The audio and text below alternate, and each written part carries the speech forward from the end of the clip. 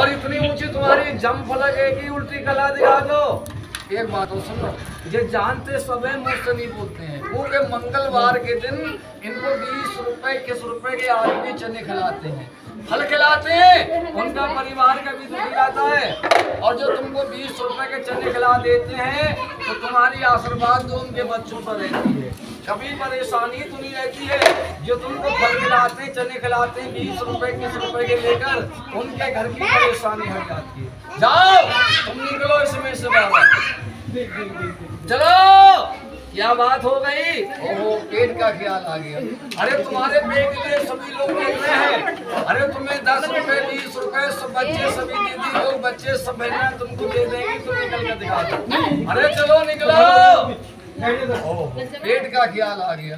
तुम्हारे पेट के लिए कोई भी अपने हाथ से बीस रुपए किस रुपए या ग्यारह रुपए जो तुमको दे देंगे अपने हाथ से तो तुम्हारी आशीर्वाद उनके बच्चों पर रहेगी। कभी परेशानी नहीं रहेगी।